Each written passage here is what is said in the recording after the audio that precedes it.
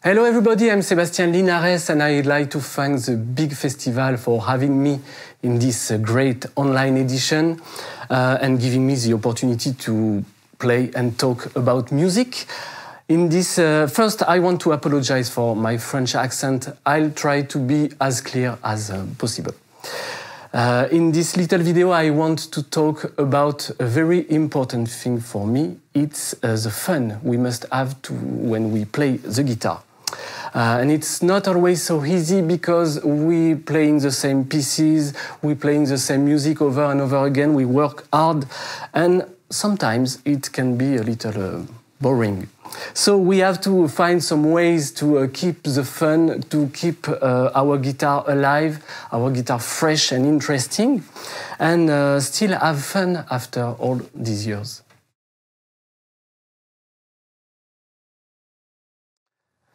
Of course, there are many, many ways to work on that. One really interesting way is the ear training. I'm used to practice it in a very particular way. I just try to play everything I hear in a day. So I am in my apartment and the windows are open and uh, there is a guy uh, walking down the street and singing a melody. I grab my guitar and try to play the melody. Uh, I don't know, there is someone ringing at the door. I just try to play the doorbell. Uh, also, popular music um, are very useful to work on ear training. Uh, you may have a boyfriend or a girlfriend, and she comes to you and say, uh, "Look, I know you play Bach, I know you play Ginastera, I know you play all those difficult stuff, but I like Madonna. Um, can you play Madonna for me?" You can't say no. You have to try. you have to try something, even if it's two notes or two chords you remember you have to try something. So um, let's see the chorus of uh, Papa Don't Preach.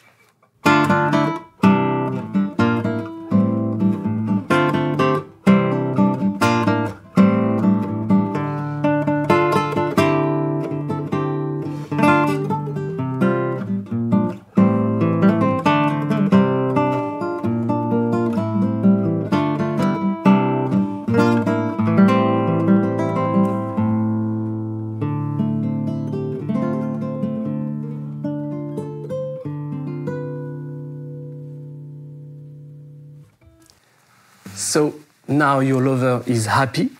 And you can notice that Papa Don't Preach is based on the Spanish cadenza. Only this chord is a minor seven and not a major one. Um, another example, you may have a daughter and she's absolutely crazy about Billie Eilish. She listens uh, Bad Guys 10,000 times a day and she comes to you and say, Daddy, Scarlatti is so beautiful, but can you play Bad Guys for me? So you can't disappoint your daughter. So um, here we go.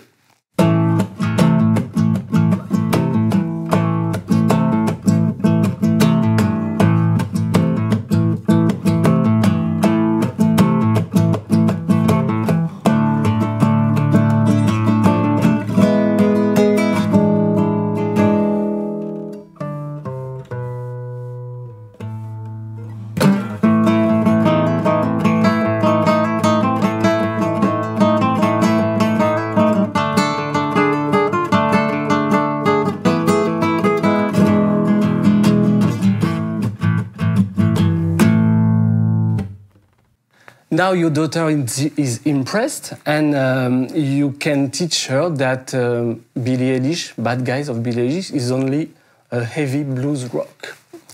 Um, another uh, one last example. You maybe you're fortunate enough to have your grandmother alive, and um, you go to lunch uh, on, on Sunday with her. And at coffee times, she wants to sing and ask you to play Historia de un amor.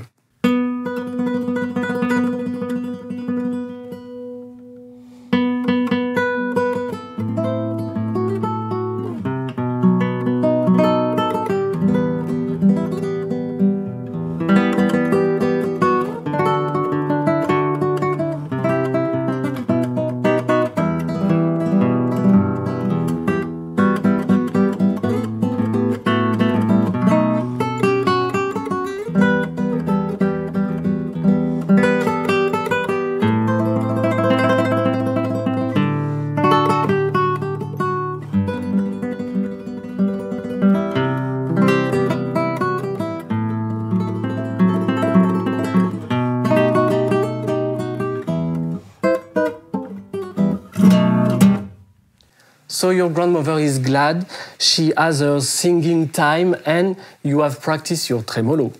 And uh, this is a perfect transition from the next part of this video.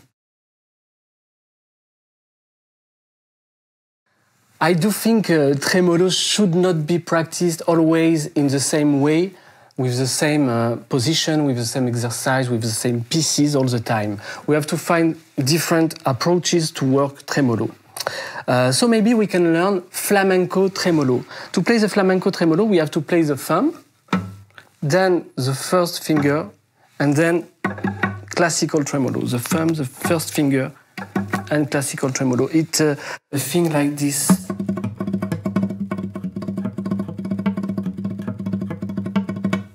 So as you can hear, there is a, a, a very a rhythmical quality. The classical tremolo is more rubato.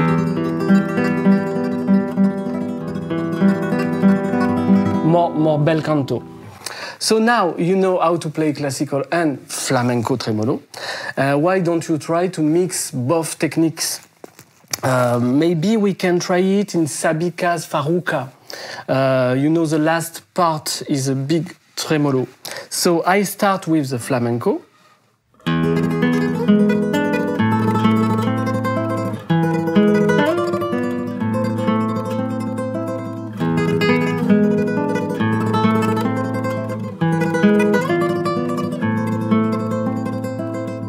Classical here, flamenco is back, etc.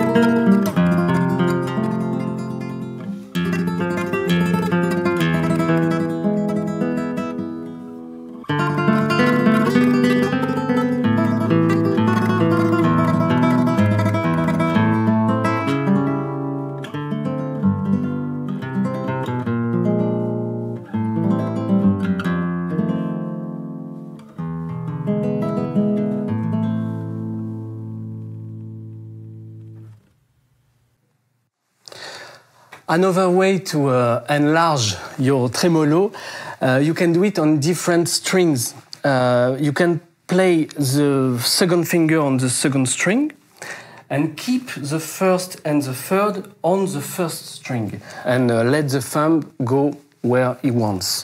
Uh, many years ago, I wrote a bagatelle. I can send you uh, if you want, if you write to me. Um, and I use this technique with open strings and I thought it, it gives some, uh, some interesting effect. I show you.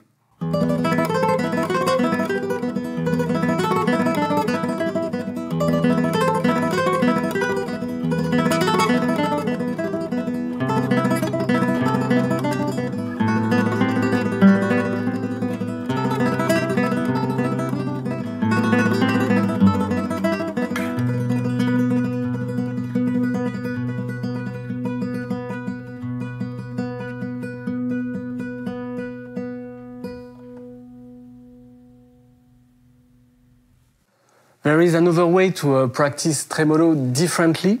Uh, in uh, Rafael Andia's piece, which is called Toccata i Passacaglie. You can find it on his website, you can download it, it's free. Uh, in this piece, he combines tremolo with rasgueado, and it's not a very easy thing because tremolo is such a delicate technique, uh, and rasgueado is more heavy one besides the finger don't go in the same direction. So uh, to realize it, you have to um, uh, to make some kind of circles like this.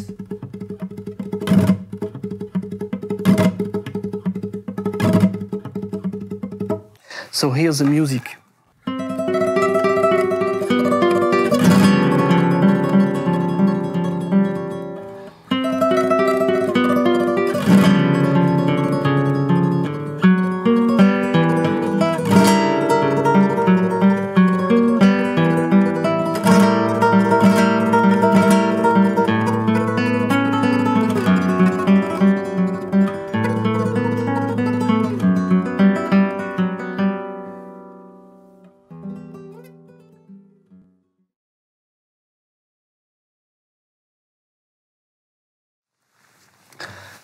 In the last part of this uh, video, I'd like to talk about improvisation. and it's always difficult to uh, give some advices to practice improvisation. We don't know uh, where to start, how to start.